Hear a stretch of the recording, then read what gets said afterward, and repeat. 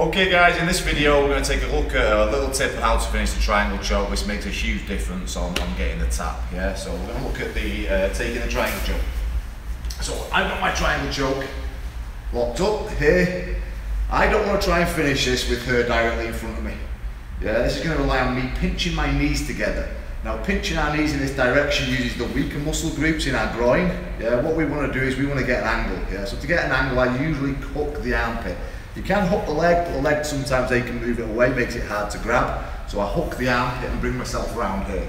So look down her ear. Once I'm looking down the ear, I'm now using my stronger muscle groups in my leg, yeah, here, which, which makes a big difference on the finish. So when I'm looking to finish now, I want to be pushing with this leg that direction, clamping down with the back of my calf, hooking off, the triangle and I get the squeeze and that'll get the finish. Yeah, I shouldn't really need to pull down on the head.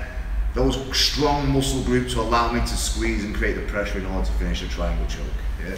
So I'm here, I've got it locked off, hook the armpit to allow myself to get round, so I'm looking down the ear. Now I can use my strong muscle groups here, so I'm pushing, clamping, locking it all off, getting my squeeze to get my finish. Yeah, so it's a little tip on how to finish a triangle choke, making sure you get that angle.